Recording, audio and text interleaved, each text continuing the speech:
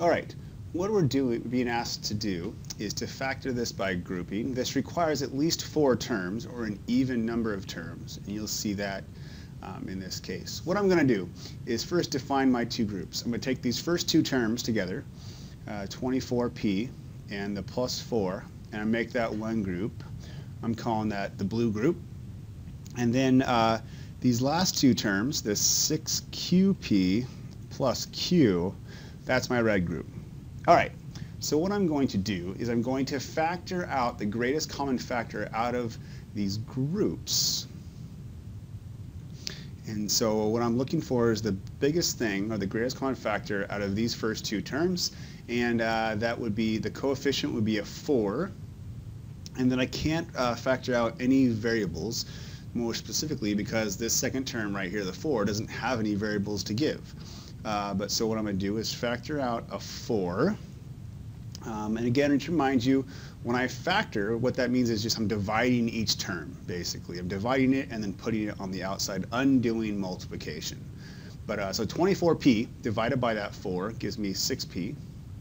And then this plus 4 uh, divided by 4 would end up being a plus 1, because 4 divided by 4 is 1.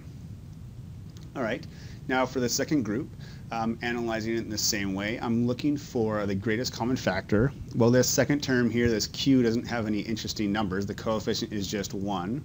So I can't factor any numbers out. Uh, but they both have a q to give. So I'm going to factor out a q.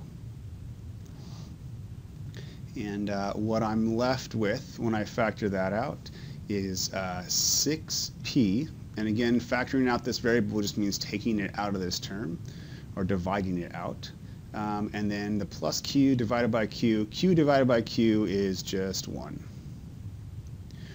All right, so if things are working out well, which they are currently, um, what I have are exactly the same binomial factor in both of these new terms that I've created right here. In fact, I have this 6p plus 1 and 6p plus 1. This is the hardest part of factor by grouping for folks. But what I'm going to do is factor out that 6p plus 1 from both of those terms. So I'm going to factor it out of this term right here, and I'm going to factor it out of this term right here. When I do that, just as always with factoring these common factors, I put it outside. And what I get left with is whatever is left in this first term. And how I think about that is I'm just going to cross off what I factored out here and what I get left with in the first term is a 4. And in the second term, I get a q. And that is my factored form. And factored by grouping again, uh, what the word factor always means is rewriting the expression written as a multiplication of two mathematical objects. And in this case, I have 6p plus 1 times 4 plus q.